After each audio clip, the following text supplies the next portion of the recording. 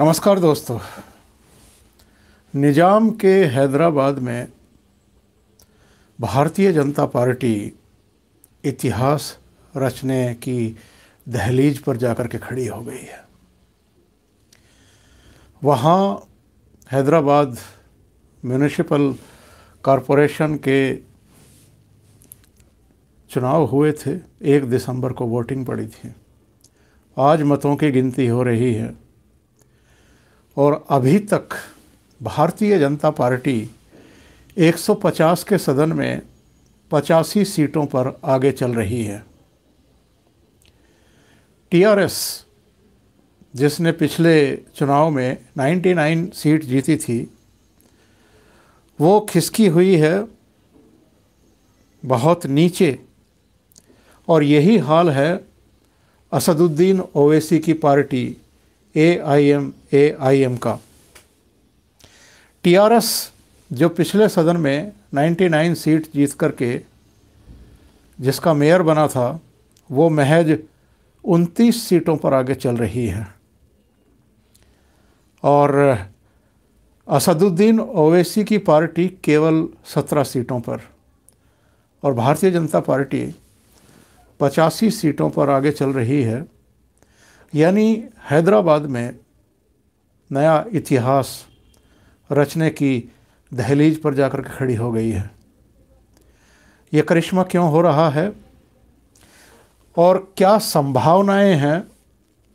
इसका अंदाज़ा कुछ कुछ तभी लगने लगा था जब भारतीय जनता पार्टी के पूर्व राष्ट्रीय अध्यक्ष, केंद्रीय गृह मंत्री अमित शाह उत्तर प्रदेश के मुख्यमंत्री योगी आदित्यनाथ, भाजपा के राष्ट्रीय अध्यक्ष जेपी नड्डा, महाराष्ट्र के पूर्व मुख्यमंत्री देवेंद्र फडणवीस, केंद्रीय मंत्री स्मृति ईरानी और प्रकाश जावड़ेकर से लेकर के तेजस्वी सूर्या तक सब हैदराबाद पहुँचे थे।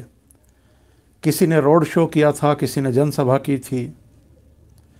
और केवल असदुद्दीन ओवैसी के तथाकथित गढ़ में घुस कर के उनको चुनौती नहीं दी थी, बल्कि तेलंगाना के मुख्यमंत्री के चंद्रशेखर राव को भी खुली चुनौती दी थी।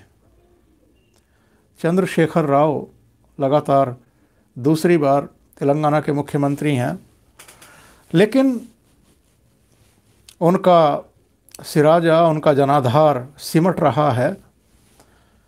दो घटनाओं से लोकसभा चुनाव के समय पता लग गया था। एक तो उनकी बेटी चुनाव हारी थी और दूसरे तेलंगाना में भारतीय जनता पार्टी ने लोकसभा की चार सीटें जीत ली थी। और अब हैदराबाद म्यूनिसिपल कॉरपोरेशन के इलेक्शन में जिस भारतीय जनता पार्टी को हैदराबाद में पिछले चुनाव में मात्र चार सीटें मिली थी। वो अगर हंड्रेड सीट्स की तरफ़ बढ़ती हुई दिखाई दे रही है और जिस टीआरएस को पिछले म्यूनिसिपल कॉरपोरेशन के इलेक्शन में 99 सीट मिली थी, वो अगर घट कर के उनतीस सीटों पर आती हुई दिखाई दे रही है और ये और नीचे जा सकती है तो आप अंदाज़ा लगाइए कि दक्षिण भारत के इस क्षेत्र में भारतीय जनता पार्टी कितनी तेज़ी से आगे बढ़ती हुई दिखाई दे रही है। पहले भारतीय जनता पार्टी सिर्फ़ कर्नाटक में एक बड़ी ताकत हुआ करती थी। कर्नाटक में उसकी सरकार भी रही, अब भी है। लेकिन बाकी के जो राज्य थे, चाहे आंध्र प्रदेश हो, तेलंगाना तो बाद में बना है, केरल हो, तमिलनाडु हो, इनमें भारतीय जनता पार्टी बड़ी ताकत नहीं थी। वो वहाँ ठीक से पैर भी नहीं जमा पाती थी। लेकिन आज स्थिति क्या है? आज देखिए, हैदराबाद में कमल खिलता हुआ दिखाई दे रहा है। और जो वहाँ के परंपरागत चेहरे रहे हैं या ताकते रही हैं या सो कोल्ड ठेकेदार बनने की कोशिश करते रहे हैं उनको हैदराबाद की जनता नकारती हुई दिखाई दे रही है। जब अमित शाह का वहाँ का दौरा लग रहा था, तय हो गया था, जेपी नड्डा का लग रहा था, योगी आदित्यनाथ का लग रहा था तो असदुद्दीन ओवैसी ने एक तंज कसा था। उन्होंने कहा था कि अब ये नौबत आ गई है, भारतीय जनता पार्टी की कि गली मोहल्ले के चुनाव में भी वो राष्ट्रीय स्तर के जो पदाधिकारी हैं, नेता हैं, वो चुनाव प्रचार करने के लिए आएँगे। हैदराबाद के चुनाव को उन्होंने गली मोहल्ले का चुनाव बताने की कोशिश की थी और भाजपा नेतृत्व की खिल्ली उड़ाने की कोशिश की थी। जैसी कि असदुद्दीन ओवैसी की आदत है। लेकिन पूरे देश में जो राष्ट्रवादी ताकतें हैं, वो एकजुट हो रही हैं। और ऐसे लोगों को उनकी जगह दिखाने के लिए संकल्पबद्ध भी दिखाई दे रही हैं। तब जेपी नड्डा की तरफ़ से उनको जवाब गया था कि जिसे आप गली मोहल्ले का चुनाव बता रहे हैं। उस ग्रेटर हैदराबाद में एक करोड़ आबादी रहती है। चौहत्तर लाख मतदाता हैं। चार पाँच लोकसभा क्षेत्र पड़ते हैं। और 24 विधानसभा सीटें आती हैं। और चाहे म्यूनिसिपल कॉरपोरेशन का चुनाव हो, नगर निगम का हो, चाहे ब्लॉक स्तर का हो, जिला स्तर का हो, स्थानीय निकायों से लेकर के पंचायतों के चुनाव हों, भारतीय जनता पार्टी हर चुनाव को बहुत गंभीरता से लेती है। वो केवल ट्वीट करके काम नहीं चलाती है। मैदान में उतरती है, लोगों के बीच जाती है, उनको अपने नीतियों, कार्यक्रमों, सब चीज़ों से अवगत कराती है, अपने विजन से अवगत कराती है, अपने सिद्धांतों को बार बार दोहराती है। और उसी का नतीजा है कि भारतीय जनता पार्टी लगातार आगे बढ़ रही है। हैदराबाद का जो रिज़ल्ट आने वाला है, इसकी गूंज बहुत दूर दूर तक सुनाई पड़ने वाली है। ये केवल हैदराबाद का नतीजा नहीं है। ये बहुत बड़ा संकेतक है। और इसकी आवाज़ पश्चिम बंगाल में भी सुनी जाने वाली है। बिहार में पाँच सीटें जीत करके एआईएम एआईएम के नेता असदुद्दीन ओवैसी काफ़ी उछल रहे थे। और तब से जो परंपरागत राजनीति के विश्लेषक हैं, उनका कहना ये था कि ये ममता बनर्जी को चोट पहुंचाएँगे, कांग्रेस को चोट पहुंचाएँगे और वामपंथियों को भी चोट पहुंचाएँगे पश्चिम बंगाल पहुँच करके। लेकिन भारतीय जनता पार्टी ने तो इनका पानी हैदराबाद में ही उतार दिया है। और ये हो सकता है नीतीश कुमार को, आरजेडी को, कांग्रेस को बिहार में नुकसान पहुँचा गए हों। पर भारतीय जनता पार्टी का पर तो कोई फ़र्क नहीं पड़ा है।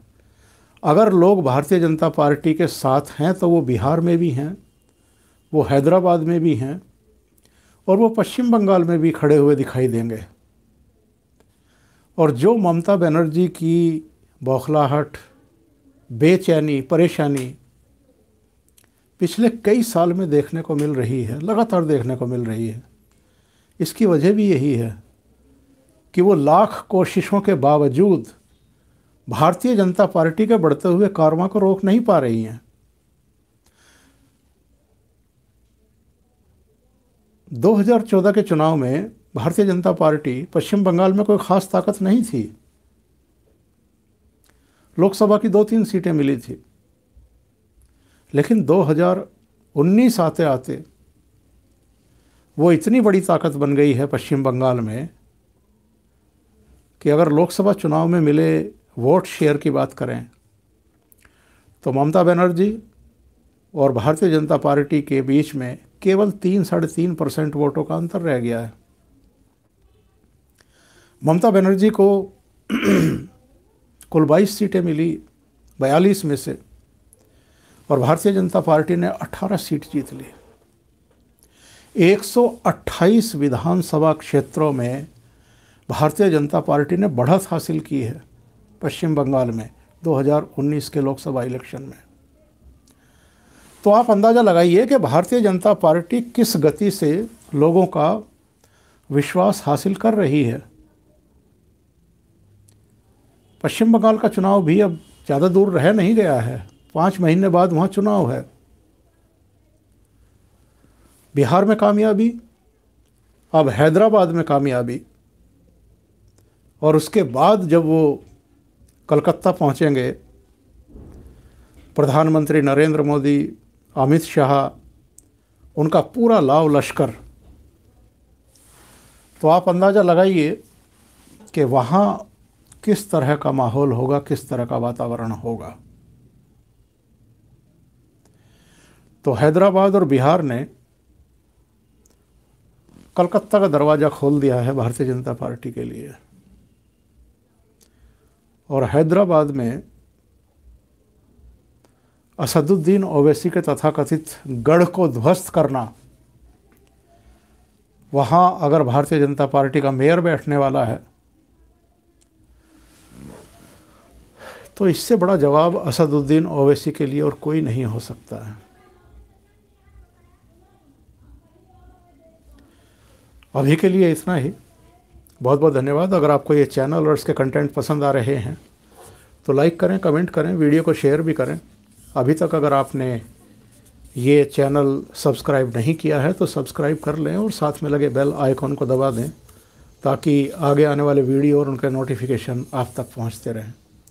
बहुत बहुत धन्यवाद। नमस्कार।